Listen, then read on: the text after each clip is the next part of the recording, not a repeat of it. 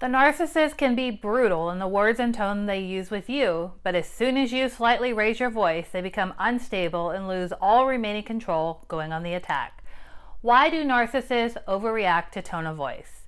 I'm Dr. Emily Mayfield, a licensed psychologist. Thank you for watching this video and being a part of the Mindset Therapy family.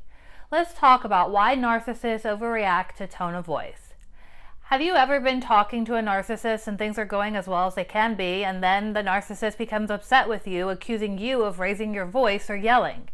This can be especially frustrating when the narcissist is yelling at you, and as soon as you change your tone, they overreact and get upset. Why do narcissists overreact to tone of voice and appear sensitive to even the slightest changes in your tone? Let's first look at how the narcissist uses tone of voice in their own world, and then I will discuss why they overreact to your tone of voice. The narcissist uses their tone of voice as another tool through which they control others. They are acutely aware of what tone they need to use to manipulate those around them. The narcissist will use the tone and volume of their voice to establish dominance. This dominance is needed to maintain control. Dominance is also needed for the narcissist to protect their narcissistic supply from running out. They must always be in control of the world around them to protect against narcissistic injury, which can lead to a waning narcissistic supply. The narcissist will use their tone of voice in two ways. They may use a louder tone through yelling and screaming, or they may have no tone of voice as they are silent and using the silent treatment. Either way, the narcissist is trying to shut down all communication with you. By yelling at you and calling you names, you back down. And even if you don't back down, you have no opportunity to say anything because the narcissist is louder than you and shuts you down. And while the silent treatment is marked by silence, it is equally effective at keeping you from contributing to the conversation because a narcissist doesn't listen to what you are saying. You feel like you are talking to a wall because the narcissist acts as if you don't exist and doesn't acknowledge what you are saying. Because the narcissist relies so much on their tone of voice and they are self focused and can't consider others' perspectives, your tone of vo- voice becomes something that they are highly in tune with. The narcissist uses their tone of voice to control, and they consider that is also what you are doing.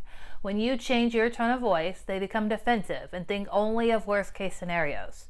A slight change in your tone of voice flips you over into the all bad side, and now you are seen as a problem, and the narcissist can only see you as all bad due to their lack of object constancy.